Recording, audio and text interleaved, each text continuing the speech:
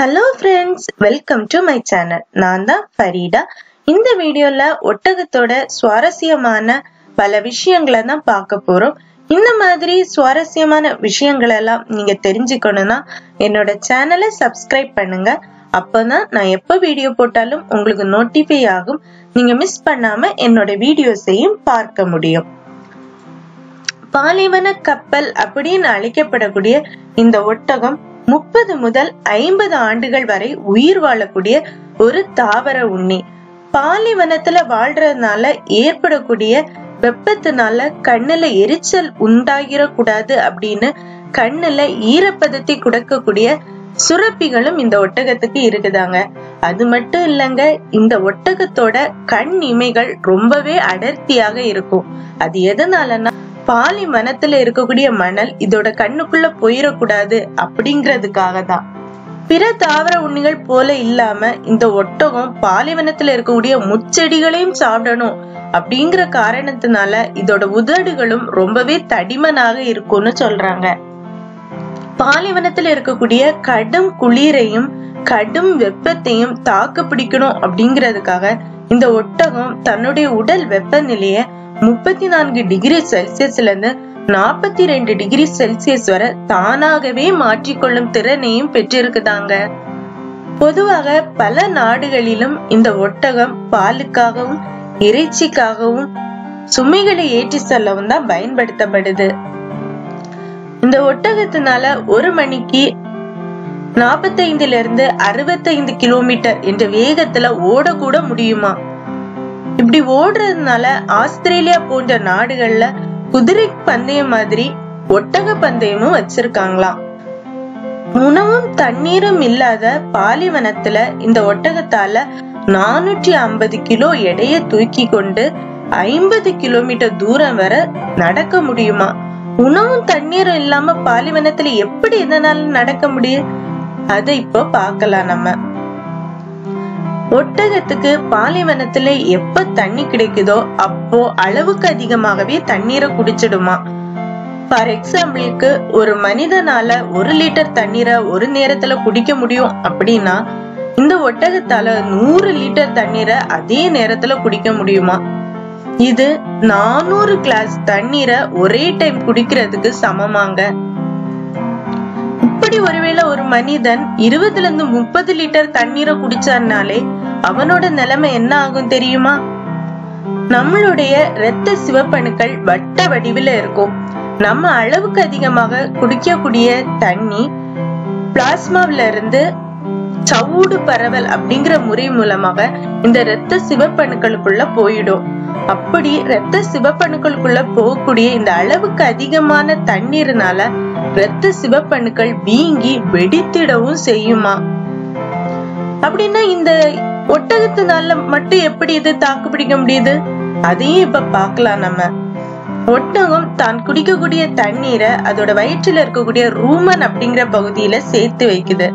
அங்க இருந்து கொஞ்சம் கொஞ்சமா அத அதோட ரத்தத்துக்கு அனுப்பி ஹைட்ரேட்டும் பண்ணுது.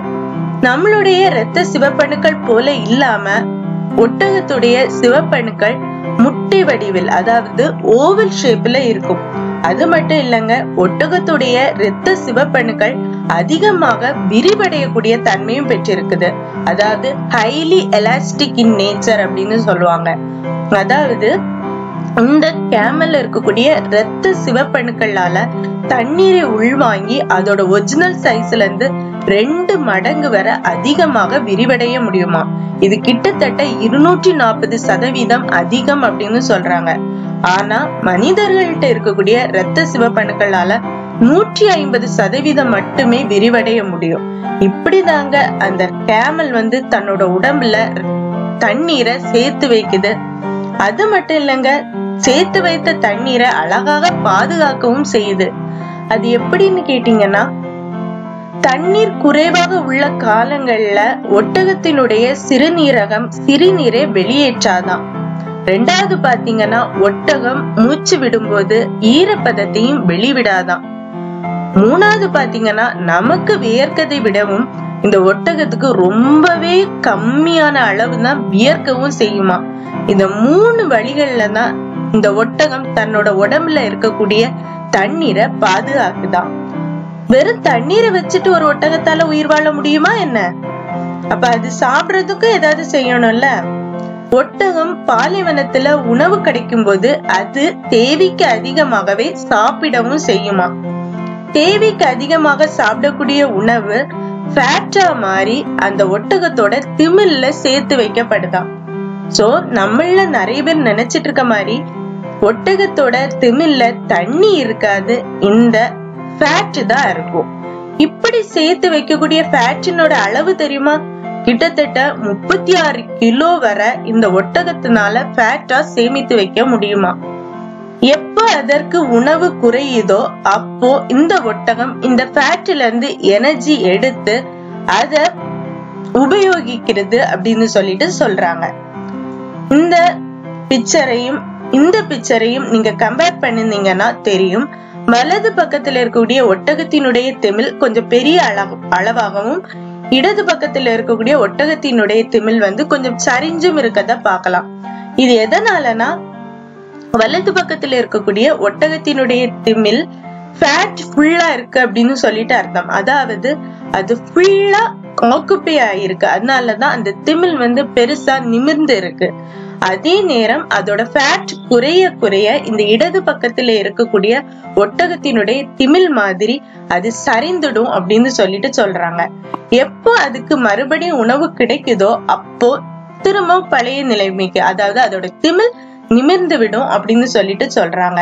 இந்த திமில வச்சு ஒட்டகத்தை ரெண்டு வகையாக பிரிக்கிறாங்க.